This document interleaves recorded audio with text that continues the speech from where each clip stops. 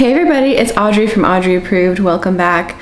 Today I wanted to do or continue my little nonfiction series where I have a specific topic. So I'm going to talk about nonfiction books that have to do with popular culture. Now I'll caveat this video saying that I didn't give any of these five stars, but I did think that they were all worth reading and I was glad to have read them.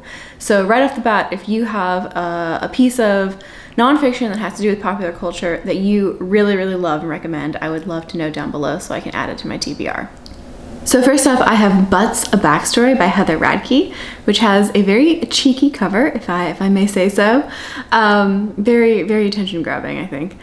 This is a history of the backside, and it's really a, historical and cultural and economic and physiological analysis of butts, but in particular female ones and Western ones. Now, Radke covers a wide range of topics that have to do with the behind, ranging from women's fashion and women's dress. So she talks about um, pants and jean sizes and why it's so hard sometimes to find um, pants that fit our bodies to fashion trends like the bustle, which always makes me uh, makes me think of um, the stepsisters in, in Disney's Cinderella as they as they're walking along. Um, she also covers famous butts, so Kim K and J Lo, but also say um, you know Sarah Bartman in 1800s Europe, who was sexualized and sensationalized and really victimized for the shape of her behind.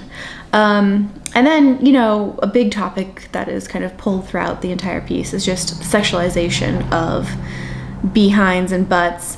Um, and in particular, you know, she covers the history, the evolutionary history of why that might be. You know, why are men traditionally attracted to, say, bigger butts? Why would that happen biologically? Um, all the way through to, you know, trends and conversations that, that exist today online. I would say this leans slightly academic, but it's it's definitely very readable. I'm probably a little bit more used to reading historical nonfiction, so this was a little bit different to what I normally read, and as such, I think at times my, my interest wavered uh, just a little bit. Also, nothing was super surprising, I'd say. I think Radke kept listing off all these things, and I was like, yeah, that's unfair, or yeah, that sucks, or yeah, that's a good point. But none of it, you know, absolutely blew me away, which is not to say that a book needs to do that to get, you know, a really high rating. I just thought that, you know, at times there was slightly a, a little bit of repetition that was done, and I think it would have been really interesting to evaluate the butt in terms of more historical settings and non-Western settings. So I think it's an important subject because you know butts are everywhere. We all got one. Um, but yeah, maybe maybe not my favorite read, but if it interests you, then check it out. So the second book I want to talk about is Escape into Meaning, Essays on Superman, Public Benches, and Other Obsessions by Evan Puschak. And Evan Puschak is a YouTuber. He runs a channel called The Nerdwriter. And if you take any recommendation from this, this video, actually, it is to watch the videos from the Nerdwriter channel. Puschak's general style is to take uh, an idea or a concept, whether it be from art or philosophy or just, you know, cultural observations or cultural phenomenons and really break them apart into these really acute conversations and acute discussions and topics. And he does this as a as a video essays. That's what his his channel really is. They're all anywhere from I don't know 5 to 10 minutes and I, you know, I really enjoy them. I'll put some of my favorite videos down below for y'all to check out. If you're like me and you like that channel, then I think at minimum you'll enjoy this book. This is his debut essay collection. And in particular, I'd recommend listening to this as an audiobook because Puschak narrates it just like he does his video essays. So the catch about long form essays like this, in contrast to like a five to 10 minute video essay, is that the author can get a lot more philosophical in these actual essays. And I think that's not always the best thing. I think Puschak, because he talks about cultural phenomenons like film, sometimes those topics have, you know, they're more powerful when there's both a visual and an auditory element to conveying that information. And so I found this collection a bit of a hit or miss for me. You know, if I already cared about the topic and the cultural phenomenon that he was talking about, then I really enjoyed the essay. So he has one about Lord of the Rings in here.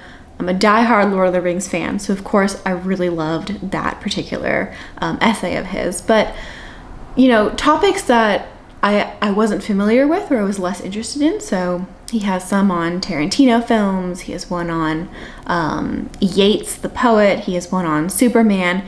These are all subjects that I just don't care as much about, and Puschak was unsuccessful in this essay format to convince me to actually care about them. So, again, you know, this is very much a hit or miss for me based on what my interests already were walking into this book. While the majority of these essays have to do with pop culture, he does also include some that are just cultural observations, topics about, you know, public spaces or topics about friendship. And those I did enjoy as well. So I'd say maybe like a third to a half of these I really liked, and another half of them were just, I'd, say, maybe not memorable for me, um, but not bad by any means. I just recommend the video essays over these because you can watch however many you want based on subjects you already care about, and I think they're just a little bit more powerful with that visual element that he can add. That being said, I'll read anything else that Puschak comes out with. I'm a fan of his work, I want to support him, and I'm, you know, eager to see what he comes out with next. And then lastly, we have Pure Invention How Japan's Pop Culture Conquered the World by Matt Alt.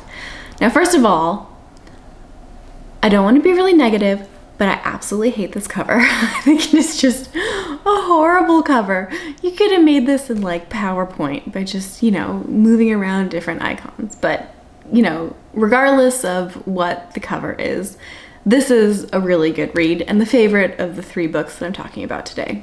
In the introduction, Alt himself has a really interesting way to describe all of the pieces of pop culture that he talks about in this book. He calls them fantasy delivery devices, which it's just an interesting, interesting term. And he said that they had three characteristics. They were all inescapable, influential, and inessential, which again I thought was just a really interesting way to, to preface your book.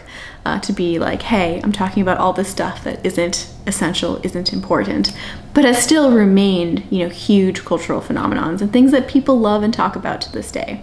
So this covers a whole bunch of topics that you might be very familiar with. So Pokemon, Tamagotchis, it covers manga and anime, it covers uh, Pac-Man and the Walkman, the Sony Walkman and how influential that was. It covers um, film, so it covers Hayao Miyazaki and some of the the older films. I think Astro Boy was was one of the first topics in here. It covers Game Boys and karaoke and Hello Kitty.